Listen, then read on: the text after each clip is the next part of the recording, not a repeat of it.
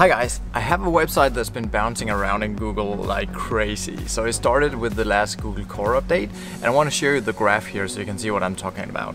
So here it's like the site is killed totally. And then after a while it comes back and then it goes down again.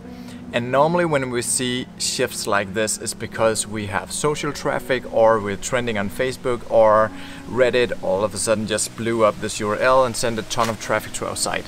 But actually this site is almost 100% organic traffic so the graph should look like this. And there's a very clear correlation here between the Google Core update as I said and that first drop. So of course I was pretty freaked out um, that it just dropped to the ground all of a sudden.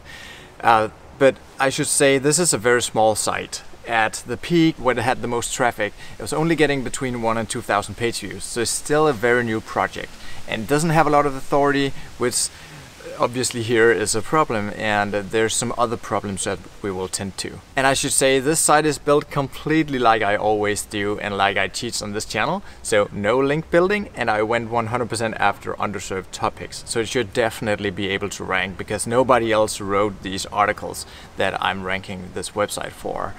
And there's quite a lot of content on the site and something that I have been thinking about a little bit that maybe Google is changing some things right now. So you cannot post as much content as we normally could. So we're talking hundreds of articles. We posted like 200 articles pretty quickly over a month or two.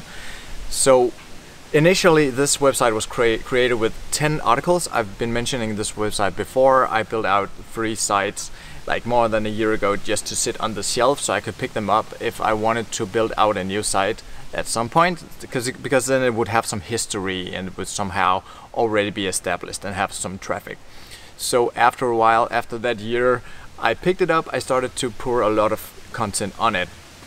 So I'm thinking maybe this drop is caused uh, by Google thinking that that it could be AI generated content because we've seen a lot of these AI content sites, typically something like sites that just answer a lot of basic questions with little bits of text and then it's the next question and the next and the next. And they tend to rank pretty quickly until Google will hit it like we saw with the last update. We saw some of these sites just fall flat on the ground.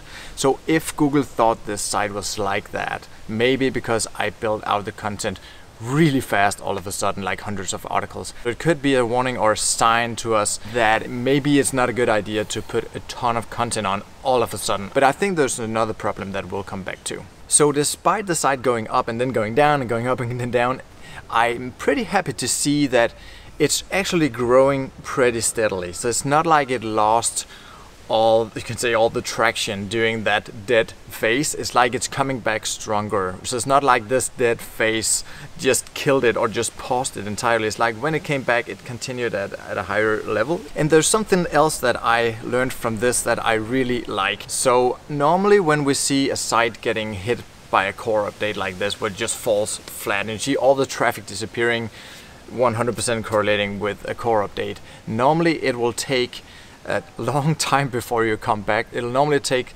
until the next core update. So let's say the core update here kills your site, you have to wait till the next core update for it to sort of get, get a second chance I have a chance to come back.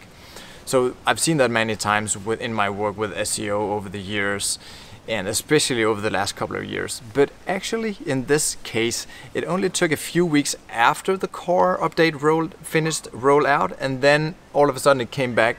So I'm thinking that Google was readjusting some of the algorithms, or maybe some machine learning took a lot of data into account and looked at these uh, domains that were slashed completely to see if it was actually valid or if they were sort of just hit by Google's drive-by shooting and shouldn't be killed in the fire. So I take this to mean that you don't necessarily need anymore to wait a full period, like a half year, to get your site back in case it dies with the Google Core update. So that's good news to many of us.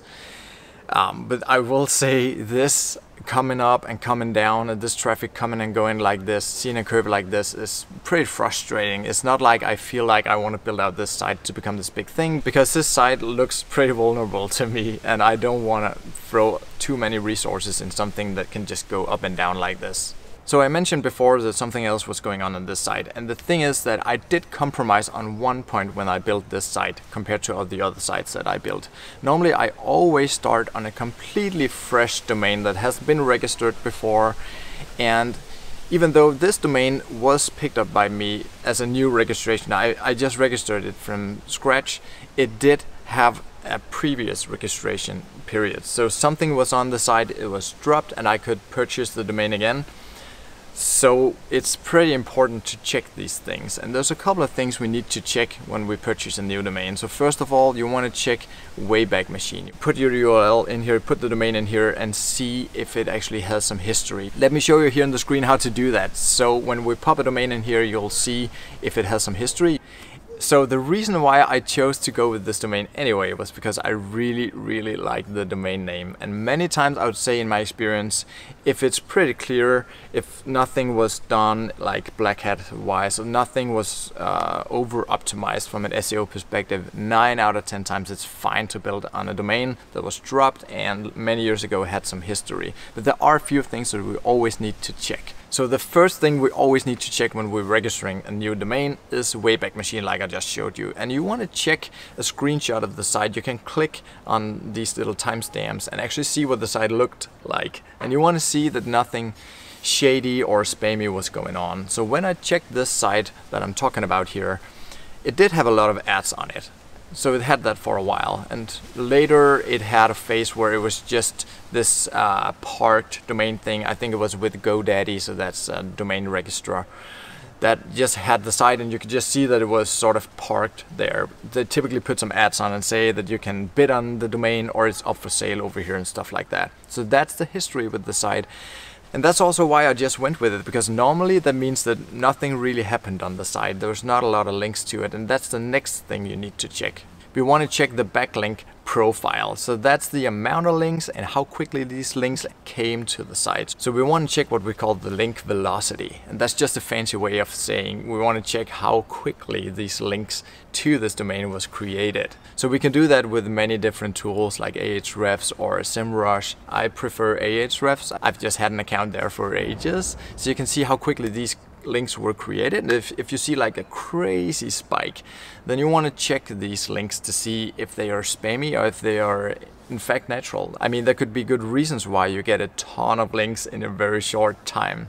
If you suspect that anybody purchased links or did try to manipulate using link building tricks or just getting a lot of sites to link to it all of a sudden, then I would definitely stay away from it. And if people have been buying links from PBNs, that's just short for private blog networks, just networks of sites that people build out just to link to sites to get them to rank faster, it's typically pretty easy to spot. Because when you go into Ahrefs or SEMrush and check the sites that link to a domain, you'll see if they are pretty optimized. And you can go over to these sites, these domains, these websites that link to your site and see if they link out to all these crazy things that are not really super related. Many times people creating these PBNs, they get, they get sloppy and they'll link out to everybody who's paying them. And so if they just link out left, right and center and is super optimized, um, then I would definitely also stay away from it. So before you go with the domain, you want to check uh, the anchor text, that's just the clickable text, the text you click on to land on your site. So the links pointing to you, you want to check what these words that people click on actually are. And you don't want these anchor text links to be something like cheap stuff over here or best X for Y or buy this over here because if you have too many of these like cheap, best, buy and these super optimized words that's very very valuable to rank for then has probably been built to the site previously, like back in the day when somebody else owned the domain. Somebody probably paid for these links and it will look very unnatural to Google because naturally very few people will link to something and saying that this is the cheapest product or this is the best product. It's just a very spammy way to do it. And it's typically done like 10 years ago because somebody wanted to rank for these search terms. I know this because I worked with e-commerce SEO 15 years ago and that's exactly what everybody did. They just built a ton of links with like best camera and then there's a link and super great cameras and cheap cameras and buy cameras here. You just build like hundreds of these links before Google got algorithms to figure this out and then you would definitely rank for it.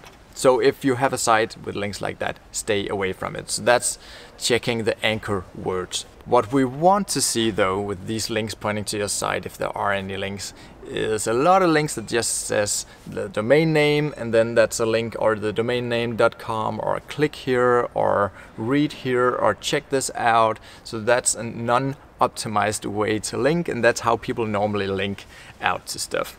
It is also fine to just have some keywords there, but you don't want buy, best, cheap and these words to have a majority of the anchor text pointing to your site. So back to the site here. What am I going to do with this site? So first of all, I'll say this is not a fatal thing that will forever prevent this site from moving forward. It's not a sign that it's completely banned because it's still a new site and I could probably build it out and just, I mean, over a year or two, it'll probably stabilize and start growing smoothly.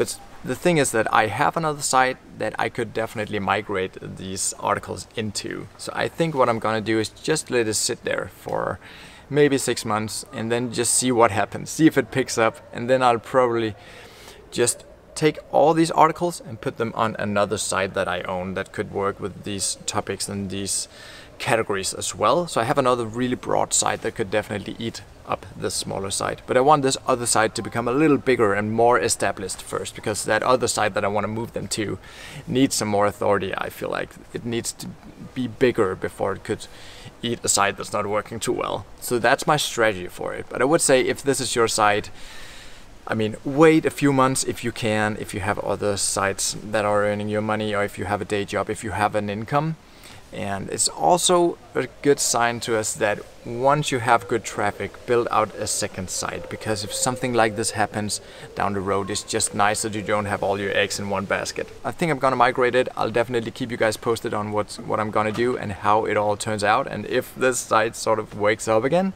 so before I go, I just want to say I'm trying to get back to posting one video per week and I think I'm gonna do this from the next week because now we are settled in our new place here. I'm in the garden here, it's a nice space. If you want to see what it looks like, it's just a garden here inside. Um, a lot of apartments. We live over here behind the, there's a trampoline over here somewhere. Yeah, and um, so I'm trying to get back to posting a video every week and I think that'll be happening from next week. So I'm excited to get back in the grind and uh, I'll see you guys